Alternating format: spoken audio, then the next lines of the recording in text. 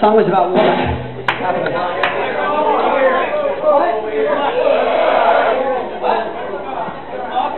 So, um, as we are here, hi Kennedy, hi Jeff.